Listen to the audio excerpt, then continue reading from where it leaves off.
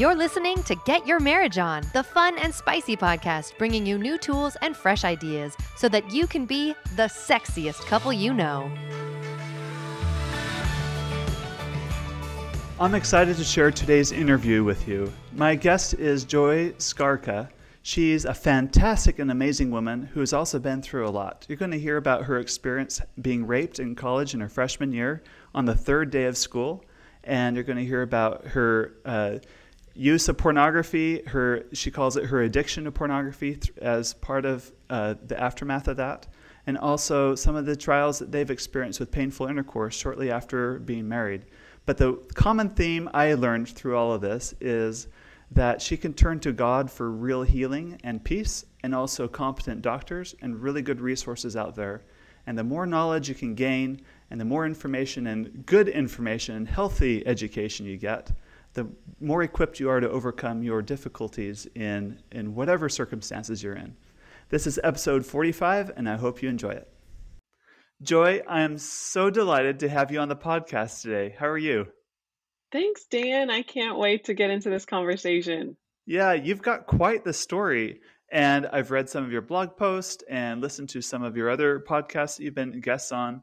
I can you just tell me about your story and how you've overcome sexual shame and about your testimony of how God's helped you through all that?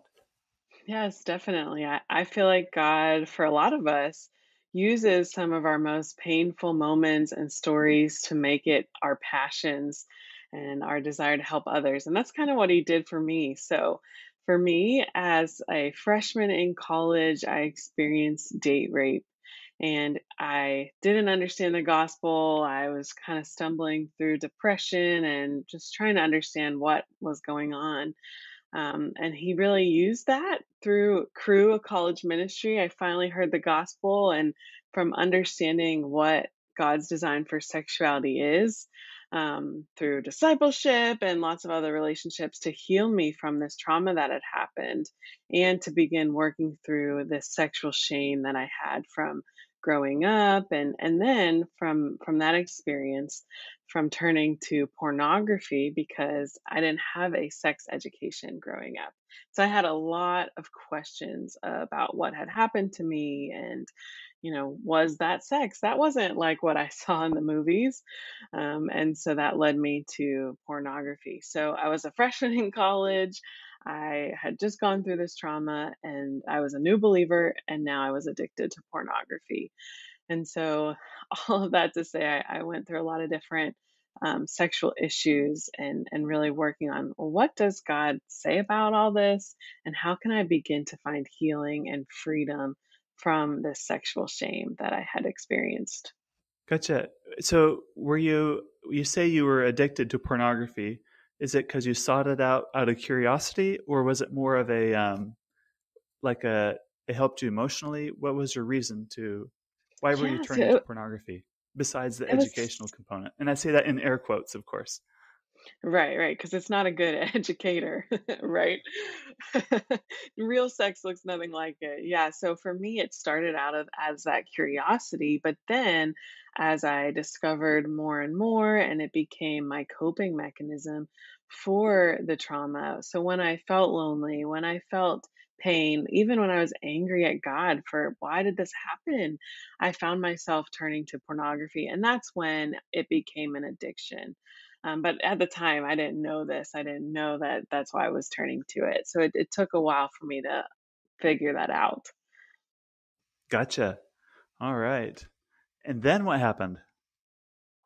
Yeah, so here I am, a freshman in college and um, kind of all by myself. But the coolest thing was a friend uh, on my floor invited me to Cru, which was the college ministry that I talked about where I heard the gospel. And at a women's event, a woman went first and she shared her story of how she had struggled with pornography and habitual masturbation and was addicted to both of them, and how she had found freedom and healing. And that was the first time I'd ever heard a woman, let alone a Christian woman, say these words. And so afterwards, I went up to her and I said, You know, me too. That's a part of my story. I've never said this to anyone. And just the freedom that came from knowing I wasn't alone in this struggle. So that's kind of how I first, that my first step, and then really just meeting with her regularly, talking. We just met at Panera. We didn't know of any books that existed about these things. We just would read the Bible and talk about it. And that's how I began this journey of understanding what God really says about sexuality and what that looked like for me then as a single person and, and even now as I'm married for four years now, what that looks like in my marriage today. So before you met this this woman at that Cru event, did you know that you were addicted to pornography? Did you feel like um, like this was a trap that you were in?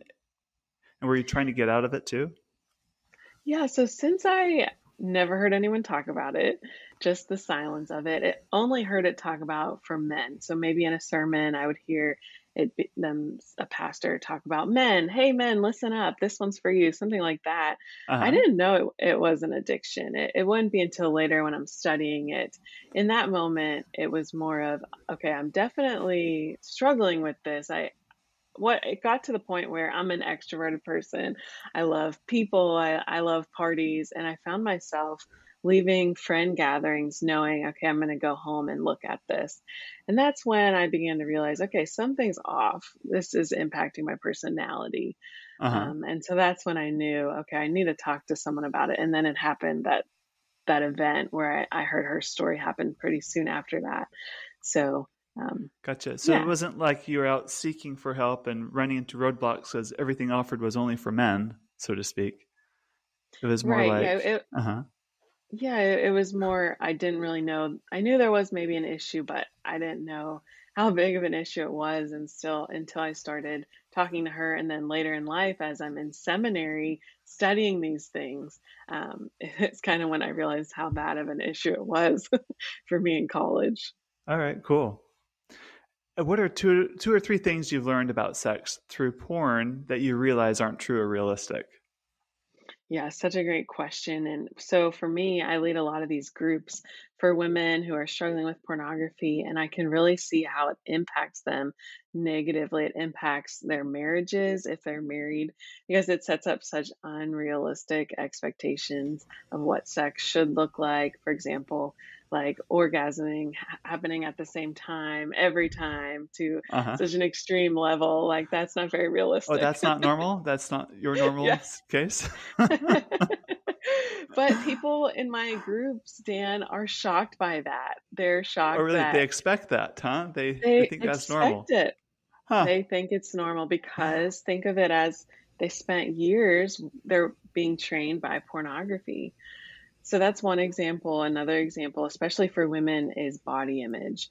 So they're watching women who are photoshopped, fake, edited. A lot of them, sadly, are high or drunk and have eating disorders just to, they do all this just to get through filming so many scenes all day. Uh-huh. But, but women watching that aren't thinking those things. They're just thinking, oh man, I need to look like that for my husband or um, to be able to compete with the women that I'm seeing on screen. So or to attract really a man, I need to be that way or whatever. Yeah, exactly. Instead of being themselves. Mm-hmm. Yeah, so it's not good. no.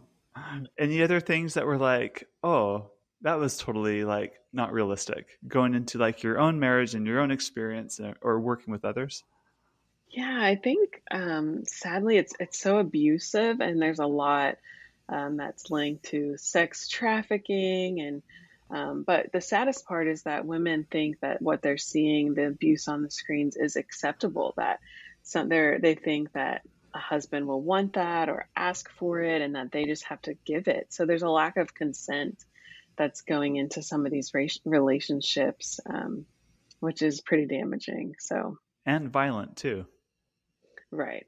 Right. And it, it's not what how God designed mutual sex to be in a marriage. So people are really missing out on that component of God's design. Mm-hmm. There definitely is a dark side, and seems like you're educated. I say that in air quotes again by the dark side of sex, not the light side or the beautiful side. Exactly. And, and even thinking too about how self focused it is. So it's all about that person and their pleasure and their orgasm and not about the selfless act of pleasing your spouse, which is so much a part of, of the marriage bed and the covenant. And so a lot of that gets missed in as this being air quotes again, sex education. Uh-huh. It's, it's a bad education. Yeah. Gotcha. So you've brought up several times about God's design for sex and marriage. What have you learned from your own study and discussion with others of what God's design for sex is? Yeah, that's a big question, Dan. That could be a, a whole other episode. But uh-huh. uh, for me, in my healing journey, a lot of it was because of my trauma and even experiences in high school where I was just sort of giving my body away and looking for love, but not really finding it. I didn't understand that God wanted a personal relationship with me. And I didn't know that in my marriage, I would get to see a little glimpse of that covenant love that, that God has. For me, it always felt like I had to earn God's love, and thus I had to earn the love of my significant other. It, it, it was never this like mutual kind of relationship. Um, or a serving relationship where I'm serving my my spouse and he's serving me. It was always I had to earn it through, and that's what made it so abusive for me. Um, I love that. The more I learn about you know Christianity and the way God is, I've come to learn that He's a very personal God, a very involved God, a very aware, a very passionate God, and not not someone far away in some distant corner of the universe that doesn't care. He's very much evolved, involved, and very aware of each of us. Right, and he's so personally involved in our own sex lives too. Like mm-hmm. he's there for the good and the bad. I remember when I was raped. I remember thinking in that that morning, God, were you in this room? Were you there when that happened? Because um, I couldn't think about how a God who was loving could have been in that room. But what really helped me in this healing process was realizing no, like our God is a God of just and righteousness and angry. And he was there and he was angry about what was happening. And so he's also there in our in our marriage in our rooms during our sexual intimacy in marriage and he cares about it. And for a lot of people that freaks people out. Uh, they've never heard something like that. right. But isn't he also the master healer? Right. I, he is. And I love mm-hmm. that. And it, I wouldn't have found healing if it wasn't for him. That's for sure. I love that. Okay. So you're doing this as like you want to get your doctorate in helping women overcome unwanted pornography use, which I think is so noble. So you're doing your studies and things. How about how, what percentage of women are involved in pornography use today? Yeah, so it's about one third of women of one third of people on porn sites are women is, is the research we're finding. But we think that's a little um, low just from the shame and the stigma that's attached to it. Women are afraid to admit that they're struggling with it. Um, yep. so we think it could be even higher. Can you imagine going to like i don't know sunday school and someone raising their hand saying hey i've when i get depressed i eat. I like go to food and that's like my go-to. And then all the other women, you know, patting her on the shoulder, saying, "There, there, I understand." And then another woman raises her hand. You know, I have the same problem, but for me, I like to look at naked pictures of people having sex. Right. and like the stigma would be so different. You're not going to have a lot of like there, there, shoulder patting going on for that. Right. That's so true. And I'm finding that with these women. So I interviewed over a thousand women and then I've led a lot of groups, and so many of them said in their conversation with me, this was the first time they had even said the word pornography. The first time. And some of them, I mean, I interviewed women of all ages. And so it's just so sad that they felt that they didn't have that safe place to come forward and talk about it. Gotcha. Well, good. I'm, I'm glad you're a voice for good and that uh, you're helping people through that. I, you've also gone through a lot of other really wonderful uh, healing opportunities, I'll say, in your lifetime. Um, tell me about how you met your husband and and uh, and your wedding and all that. Yeah, Dan. So uh, I love my husband. He's such a, a, gift to me, and so we actually met in an elevator, which is a really fun story. That's funny. Was the elevator yeah. stuck? No, that would make it even better. But no, so uh, we were living in Dallas. That's where we both were going to seminary, and we lived on the same apartment floor. And so we get in the elevator, and it was just like a movie where I held the door open for him, and he got in. Uh-huh. and it, it became this joke actually in our apartment where we just told our friends, like, just put a chair in there and sit on the elevator, and, and you'll meet somebody. Uh-huh. And so, you did. uh, and we did. So it was funny. But um, for us, so we met there and we just started talking. And um, I, at the time, was writing um, a blog separately from Authentic Intimacy, where I currently work. And so I had about over a hundred blog posts on there. And so before our first date, he had read every single blog post. Oh no, he totally stalked you. he did. He stalked me. So but he knew about your background. He knew about your rape experience yeah. in college. He knew about. he knew my whole Whoa. story. Uh-huh. But it kind of was nice because I was thinking like, okay, this guy knows everything and he's not running away. So this uh-huh. is great. but it was so cool because later, like months into our relationship, he t- he told me that he what made him fall in love with me was the passion that he saw in my writing to help other women.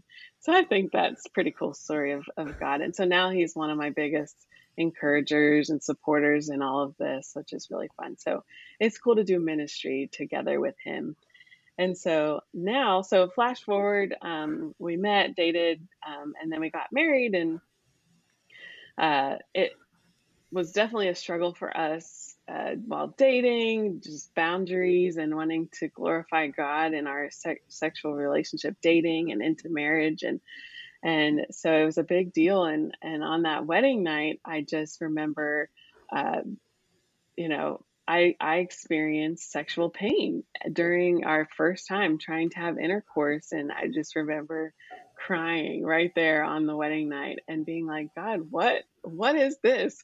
We didn't go through all of that hard times and waiting for this, did we? And um, and even into the honeymoon, just having a lot of problems and um, and so we ended up texting a few of our married friends and just asking, hey, like, did any of you have pain or did any of you have have issues? And everyone just being like, no, it was great. uh-huh. Of course, so that makes you feel felt, even worse. Uh-huh. right. We just felt so alone. We felt like we were just doing everything wrong. And so that really took us into this journey of trying to understand what was up with the pain and, and how to how to do this. And so definitely started off the marriage interesting, but um, yeah, we, we've come a long way with it. So from your uh, research and experience, what percentage of women experience uh, painful intercourse, especially in the yeah, beginning? So uh, it's it's I I don't know the exact number, Dan, but I do know that every woman who has experienced it. Um, from my the women the women that I interviewed were too ashamed to, to talk about it. Um, that was the common thread, and so mm it's it's definitely not something that people are talking about a lot. Um, I see a common theme here. People are ashamed to talk about some some things. Right, right. They, if they did, they could get help. Mm-hmm. They don't have to mm-hmm. live with that. Exactly. Yeah. And so for us, um, I started talking to my doctor about it, and, and that helped a lot. And there are a lot of good um, resources and talking to your gynecologist and, and stuff to find healing. So there are resources. It's just there's a lot of shame that women feel to to seek them out. Right. I mean, you'd go to the doctor if you had a painful ankle, or right. if you were like sick, like and coughing a ton and not getting better. So mm-hmm. why not go to a doctor when you're having painful intercourse? When intercourse should be a normal and beautiful part of your marriage too.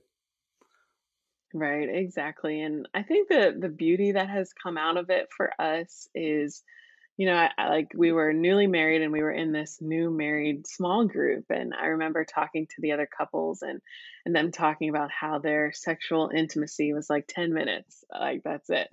And I uh-huh. remember saying ten minutes, like we're like an hour and a half. and they just were they jealous? understand. they just couldn't understand because all they were doing was intercourse. Uh-huh. And for us, we had to incorporate so many other pieces of foreplay and just to get my body to the point where we could have intercourse. And I'm thinking, wow, like what kinds of things? That, I'm curious. Yeah, so just a, a lot of touch, a lot of um, um, we an exercise from a, a, book called I forget the name of the book, but it's called Making Love with Your Clothes On. And uh-huh. so just a lot of like massage and and different activities just to to warm up. And my friends, um, it's just sounded like they skipped all of that. And I'm like, you're missing out on so much more to sexual intimacy and I think a lie that a lot of Christians believe is that sex is just sexual intercourse when yes. there's so much more right. to sex and sexuality. And, and so for my husband and I, I think that was the biggest blessing is we got to really uncover all of these different pieces of it. Um, you yeah. learn to enjoy the whole experience, not just intercourse. Right. Yeah. Well, that's a great blessing. Um, if someone's listening to this and they're experiencing pain, any tips you can offer them, or and or what what are one or two of the things that like really? I'm assuming you got over the pain and it's not as much of an issue now. What what's like? Was there like a big aha, or was it was there like a big a, a switch you had to flip in your head, or what helped you kind of overcome that? Yeah, Dan. So it it's definitely not what it was uh, in terms of extreme pain, um, but it still happened. I'd say it, you know, it. I don't know. It's hard to tell, but different circumstances kind of make it more painful or less painful, and it's really just patience and communicating with your spouse. Of, oh, this isn't working. Let's try something else, or maybe we do need to spend more time in that foreplay season section before we move on or try different things. And so for me, communicating it with him and realizing that it's an us thing, it's not my fault, it's not something I have to solve on my own, but rather we're partners in this. And so that really helped me. And there were some different books. Um, Restoring the Pleasure by the Penners had some helpful activities. Um, I talked with a licensed professional sex therapist. That was a game changer, really helped me unpack my trauma more, um, find healing from some of those things. So, what I would encourage someone who is experiencing it is really thinking through okay, have I gone to a doctor? Because there are some physical things that can be done. And have I worked through all of that? Um, pelvic floor therapists are, are great. I personally um, had not so great of an experience, but I have been looking into finding another one. And I've heard from my sex therapist that my experience was not the normal. So I don't want to scare anyone. uh-huh. but um, I hear those are really helpful. And then there's there's a lot of other books and resources out there uh, if you just do some some research to find he- help and healing. Great. And I think it was episode 25 on this podcast. We interviewed a pair of uh, pelvic floor specialists there in the Dallas area. Excellent uh, oh, resource great. if you want to listen to that one. Yeah, well, I wish when I was in Dallas I knew about them. I would have gone. um, how did you find freedom from the shame that comes with painful intercourse? Like you're with your group of friends, and it seems like you're the only one experiencing the painful intercourse. And then the shame of like the pornography use. It seems like women don't talk about it. It's usually like a man problem. How did you overcome that shame, and how are you helping others that may be in that overcome the shame associated with that? Yeah, so this is my my passion, my heartbeat, because I really think that this sexual shame is what keeps women, especially, stuck in these cycles of addiction or isolation. Because especially we see in the Bible, we see in in the story of Adam and Eve in Genesis, once they experience sin for the first time and they have this shame, what do they do? They hide. They hide from each other, they cover their nakedness, they hide from God. And so this sexual shame really isolates people, it keeps them from God. And so one of the biggest ways to find freedom and healing from this shame is to know God's love on such an intimate level and, and realizing that God loves us even with our uh, struggles, even with our addictions, even with whatever it is that we're walking through. And so, if we look back at that story in Genesis, like he didn't just leave them hiding, he called them out of hiding.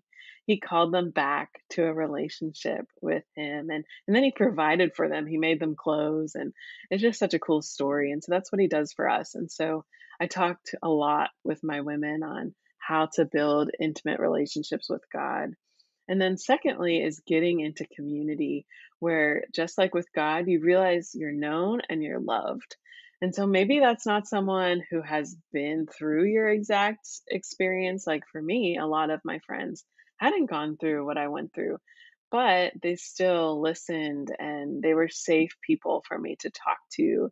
Um, and so finding safe people is really key. And so even if it if you don't have that, say at your church, we have that online. Like you can find an online small group through Authentic Intimacy, where I work. We have different online groups where you can meet with other people walking through similar things and, and can really help you know that you can be fully known and fully loved no matter what struggle you're walking through. So that's what helped me and how I'm really encouraging other women as well. Great. And you lead one of those women's groups now. Can you tell us a little about that? I do. Yes. So I lead one specifically for women struggling with pornography. Um, and so we're hoping to get that uh, book published in the future. But we also have a variety of books. One, I love one called Sex and the Single Girl. We have a married women's group for called Passion Pursuit, how to improve and work on sex in the bedroom. And so, yeah, we just offer a variety of things to really help pursue, kind of merge. Because a lot of what we've seen, Dan, is people try and separate your spiritual life and your sexual life. And uh-huh. we like to say no, like they can be combined. Like God cares about our sexual life and our spiritual life. And so we like to have these conversations about it. Why is that a foreign concept to so many people? Right. People, they just don't think that their body can be both, that they can be spiritual and sexual, and that God must not be, you know, concerned or care about our sexuality when he designed it. He created it. And so, yeah, it's such a foreign thing. Do you think part of the issue it could be we compartmentalize spirituality too much? And like spirituality is I don't know, reading the Bible and singing hymns and prayer alone, and that doesn't feel very sexual. So we find that incompatible. Yeah, Where instead, maybe spirituality is more it, it isn't praying is spiritual per se. I mean, it can be very spiritual, but there's times when prayer isn't. Reading the Bible can be very spiritual sometimes, but you can also read and not. It's spirituality, I think, is more connecting with God. Mm, I love that. So when you expand yeah, that I... definition of spirituality as connecting with God, then you can see how spirituality and sexuality go really well together. Exactly. And how a single person is also sexual. Yes. That helps with that. Absolutely. We don't just become sexual beings the minute you get married, which is a lie that I definitely believed. And I think uh-huh. it that really plays into a lot of sexual pain that people have as well um, from believing that all those years. So, if you had a daughter and she was getting ready, eh, you know, in her teenage years or whatever, what would you tell her then about how she's a sexual being? Yeah, so it's hard to think years from now, you know, picturing yourself in that shoes, but I definitely would hope starting young, like starting the conversations even younger. A great resource is called The Birds and the Bees. It talks about how to have these conversations with kids because I think the no- more we normalize it earlier on, easier it'll be to have those conversations. And so I really hope that we don't just have a one time sex talk, but that it be a conversation that kind of happens um, throughout their childhood and into their young adult ages. Um, and just providing her with the resources of where she can go to find answers so that it, it's not a shameful thing. Uh, and so that she doesn't turn to uh, Google, uh-huh. a good friend Google, to which might lead to pornography. So, gotcha make sure you have safe search turned on. right, right. Uh, any last bits of wisdom or experience that you want to share? Yeah, I think um, being, well, we know that so many women are struggling with this, whether it's pornography or pain during intercourse, sexual pain. And so, just for all of us who are listening, to be a safe person, a safe person that people can come to and and if they do share something like this with you, just being careful on how you respond so that it doesn't create more shame. So maybe Oh, just thanking them. we can't end the episode just here. We have to talk about that just a little bit more. So, let's say you're out to lunch with a really good friend and he or she tells you, "Hey, I've they they're confiding in you. They're opening up to someone about their struggle that they have. How how should what's a great way to respond or what are some do's and don'ts, I guess? How Yes, can we be better? I love Yeah. that. I love getting practical. And so, yeah, some practical things. Say someone just shares some sort of story with you. It's really just thanking them because that was really hard for them to say. And it could be the first time they've ever said it. So, thank you for sharing that and really being someone who listens, listens to their story and asks more questions. So often we want to solve the problem or say, oh i understand. I've experienced blank. And and often when we say that and we if like we don't really relate we're trying to make it work we're just really si- silencing them and making them not feel safe enough to share. So just asking more questions like or saying wow that must have been really hard. Do you want to tell me more about that um, and then making sure you follow up with them because sometimes when you do share something so personal and then you never hear from that person again you think oh that i never should have said that. I regret saying it. So maybe the next day just sending them a text and saying hey thanks again for sharing that. And then it's always helpful you can after in that text say hey i know of this book or this ministry or a podcast episode where maybe this will help you and and and encouraging them to either listen together be in it with them say i'm i don't know a lot about this but i'm willing to learn and help you through it that's really being a good friend as you walk through this Or this app called Intimately Us might be really helpful for them too. yes it might be really helpful And how does building a great sexual relationship with your spouse tend to like melt away shame and problems from pornography use or other things like that? Oh i can't talk about it enough. How important it is that you and your spouse communicate about all of this and just be a team. Like it's not my issue. And i a lot of times like i talk to women who um, enter into a marriage thinking they're the one with the sexual problem. And really like we're all sexually broken and we all have issues. And just because my husband he never struggled with pornography um, doesn't mean that i'm the the more broken of us. But knowing now as a team how we t- together can um, continue to fight for our intimacy and our marriage. And so whether that's just having check-ins with one another uh, maybe on the date nights talking about your intimacy talking about um, your desires and your needs together or maybe it's talking with another married couple whatever it is just continuing that communication together. And and the app really is a great resource for that as a couple. Awesome. Uh, if people want to learn more about what you do, where can they find you? thanks dan. Yeah so i work for authentic intimacy and you can find us at authenticintimacy.com we're passionate about reclaiming god's design for sexuality. So that's through blogs and podcast episodes and online book studies. So we have a lot of great content over there Great. Thank you very much. thanks dan We hope that you enjoyed this episode of Get Your Marriage On. And if you did, we would love it if you would take a few seconds to give us a rating on iTunes and to share the show with your friends. They'll thank you for life. Once you've done that, you can head over to getyourmarriageon.com for more resources about today's topic and to download our amazing marriage apps. Now go get your marriage on.